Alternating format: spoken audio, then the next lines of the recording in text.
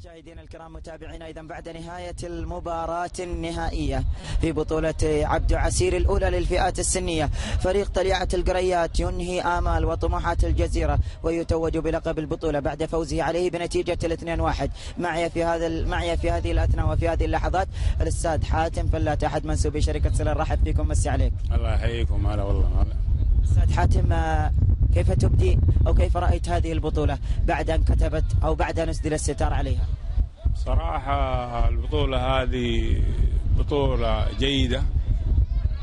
طباعي عنها الحمد لله إنها كانت طيبة والأستاذ يعني عثمان ما قصر.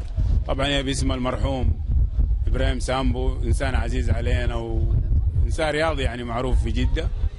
يعني ملخص البطولة مرة كان ناجح يعني الحمد لله. الناس اللي حضروا يعني طارق مسعود اسم برضه معروف في الأهلي. ولد اخته جاء سلم الكاس. الحمد لله يعني. بطولة ناجحة كل المقاييس صراحة. فيها مستوى فني رفيع فيها لعيبة. الحمد لله. صحيح بطولة تقدم أكثر من اسم الآن هناك بعض اللاعبين لعبوا في هذه البطولة والتحقوا بالأهلي ومنهم من التحق بالاتحاد. ما هو سبب غياب الكشافين أصحاب العيون الساهرة عن مثل هذه البطولات؟ باستثناء الكشاف الوحيد اللي هو أبو جنى الموجود في هذه البطولة. صراحة أبو جنى والله ما قصر دائما بيجي وده كشافين يجوا بس يعني أحيانا يمكن يكونوا ما سمعوا على البطولة لأنها شوية كانت إعلاميا غايبة. كانت فالكشف أيوه كانت شوية الدعايه ضعيفة لكن الإعلاميين يعني وقتها وقتها العصر يعني شوية كان لكن تكون في الليل الكشافين يكونوا عندهم فضوة.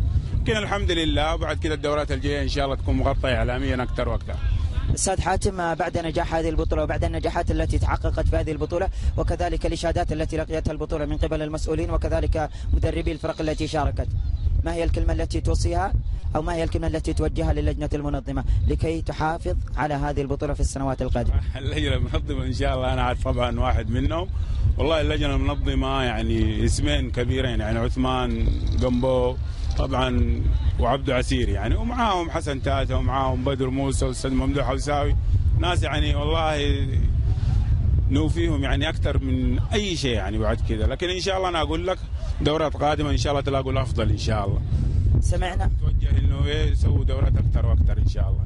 أكد حسب مصادر آه، خاصة موثوقة أن البطولة القادمة ستكون بمشاركة 32 فريق كمونديال مصغر. هل هذا صحيح؟ والله ممكن إيه. الحين إحنا نسعى إنه يعني بس كل الناس في الوقت يعني فهنا لسه الملعب ما وهذا ما في كشافات ولا شيء لكن إن شاء الله نسعى. لكن أنا أقول لك يعني 32 أحسن من 16 فريق. كلمة أخيرة توجهها للذين ساهموا في إنجاح البطولة أو في ظهور البطولة بهذا المظهر. أقدم لهم الشكر الجزيل أقول لهم جزاكم الله خير وما قصرتوا بيضتوا الوجه صراحة واسعدتوا الناس كلهم. صراحة واشكر أشكر الشبكة حقتكم يعني قياده الأستاذ خالد وأنتم إن شاء الله. والله ما قصرتوا مرة. احتفت احتفينا بكم يعني الحمد لله. وإحنا نشكرك على هذه المقابلة ويعطيك ألف عافية. thanks for coming شكرا لحضورك. الله يسلمكم. مع السلامة.